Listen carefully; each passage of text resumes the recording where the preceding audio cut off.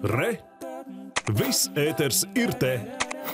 Gaidot Latvijas proklamēšanas gada dienu Rīgā iebraukuši NATO dalībvalstu kuģi. Vairākas dienas tie apskatām Rīgas pasažieru termināļu piestātnē. Ikdienā kuģi piedalās apmācībās, veic manevrēšanas vingrinājumus, kā arī piedalās militārajās mācībās, kurās iznīcina mīnas. Un turpina Zanda Ozola Balode.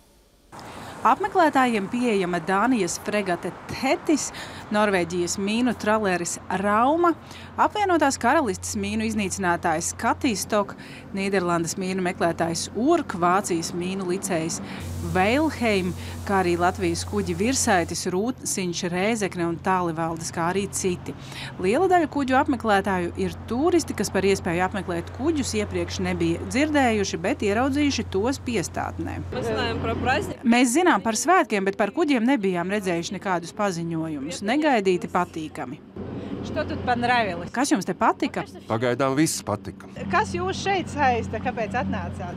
Nu, paskatīties uz mūsu novecojušo tehniku. Vēl interesanti paskatīties, kas ir lielais kuģos, bet uh, bērnam ļoti gribēs paskatīties, kā kapteiņa kājīti, un uh, bija ļoti interesanti. Kas tev patika eh, kapteiņa kājītē?